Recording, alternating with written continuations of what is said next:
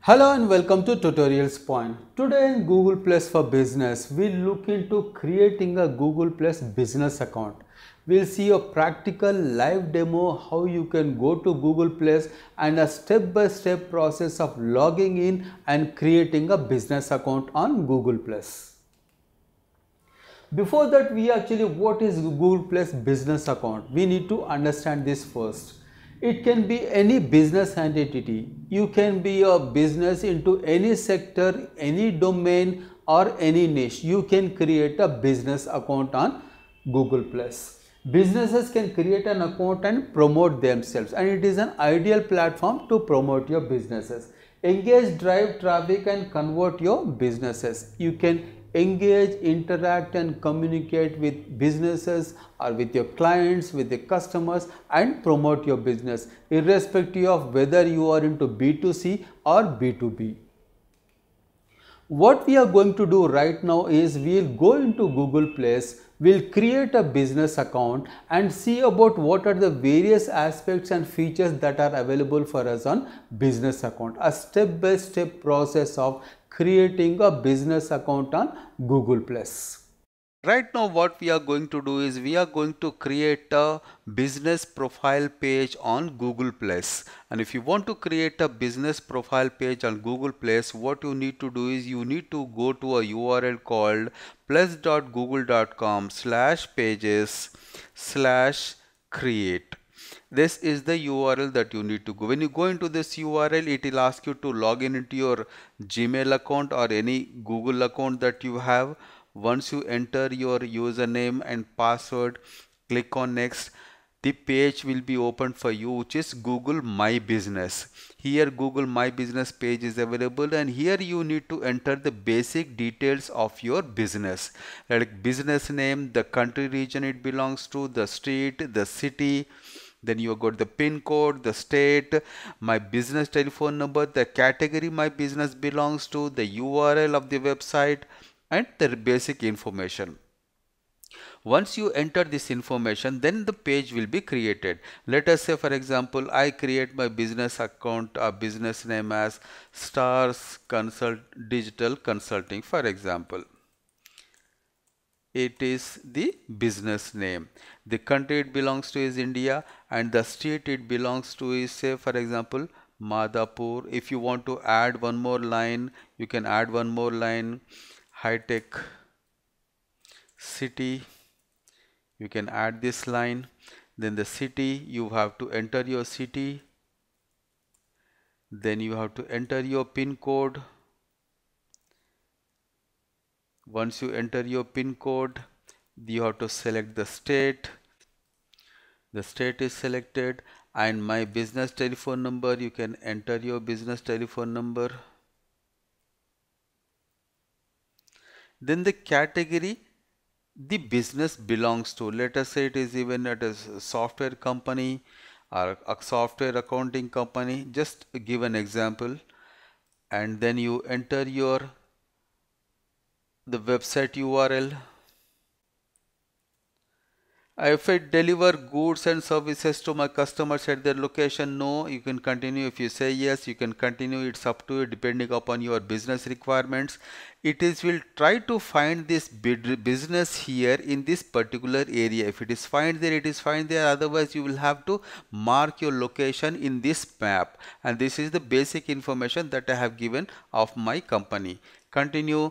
It says we can't find this address. If the address is correct entered is correct set the map. You can set the map here by marking the location. If it is if it is this area you can mark this location. Or if it is it is a different place you can change the location here whichever the location. Then done. Once you are done the location is identified and you can continue your creation of accounts now here it shows here the following business looks similar to you that you hired one of is yours. If it is one of yours, you can keep of this. If it is none of yours, keep the information as I entered. These are some of the addresses that Google Plus has found it. Keep the information I entered.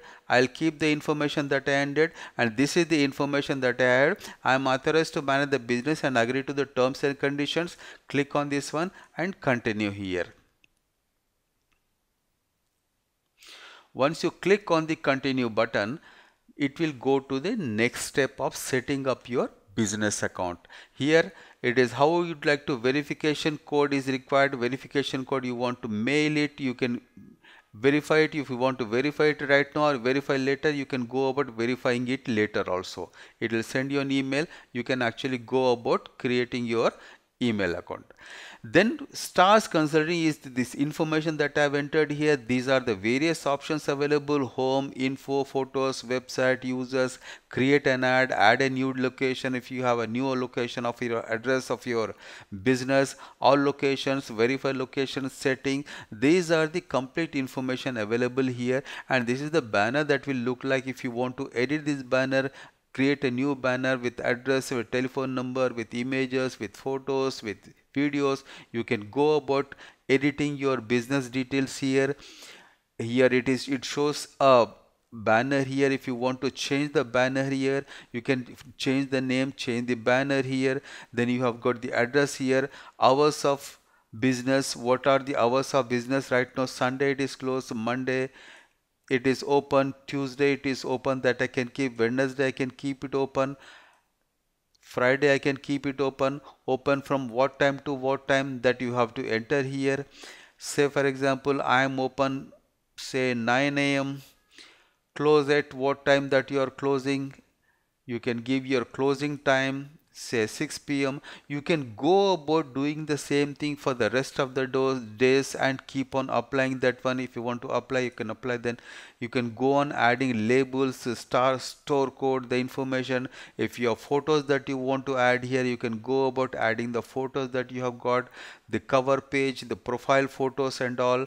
The website details can be entered here once you go about this is basically what you are setting up your profile page the profile page of your business. Once you create a profile page you can go about setting up your account then start interacting communicating and engaging with people to drive traffic to your business and generate more and more traffic and go about interacting communicating and engaging with people inviting people to your profile page, creating circles, building relationships, driving traffic to your website, your blog or a landing page, then make people take action there, generate leads and drive more and more conversion. This is how you are going to do the kind of business activity that you can do on Google Plus for your business. Hello and welcome back. What we have just seen is we logged into Google Plus, we went to the home page of Google Plus and what we have done is right now we have created a business account on Google Plus, a step by step process of how you can go about doing it and we have also seen what are the various features that Google Plus offers us for as a business account. Some of the best practices you can think of implementing after you create a business account is optimize the business page.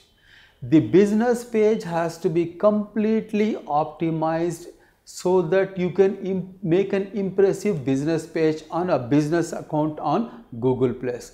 The profile, the banner image, the logo, what you are offering, the description of your business, the personal settings, per profile settings these are crucial elements and crucial ingredients in having a very good and excellent business account. So once you create the business account it has to be optimized. Business name as an account name. It is extremely important. When you create a business name or business account on google plus make sure you use your business name as your business account name extremely important. googleplus.com slash your business name. Do not use any random words so that the business name is identified with your page. Research and identify the potential customers. Before you actually go about researching and identifying your customers it is important for us to follow them who are your followers they these followers are basically going to be your potential customers in future, potential leads in the future. You need to know what is your business? Of course you know you need to know what are the products services and solutions that you are selling and you will know what is the geographic target where you are targeting your potential customers and you will also know you need to do the research to identify your potential customers. Engage and communicate consistently. Once you research and identify who could be your potential leads? When you follow them then you need to actually post consistently and communicate with them. May create a brand identity. Make content so personalized so customized that the users will be inclined to get in touch with you and interact with you. And this has to be a consistent process. Listen and convert. The more you listen to your potential customers the more you understand your followers the more you actually identify the needs and the requirements of your potential customers the better. And this is only possible through listening them. First and foremost listen to them understand them understand their requirements provide personalized content personalized solutions customized requirements drive the traffic to your website and convert them and this has to be the process not just on Google Plus on any other social media platform. In conclusion, what we have seen in this video is what is Google Plus business account, how you can go about creating a business account, a live demo and some of the best practices you can think of implementing for your business account on Google Plus. Thank you so much for watching. Hope to see you again.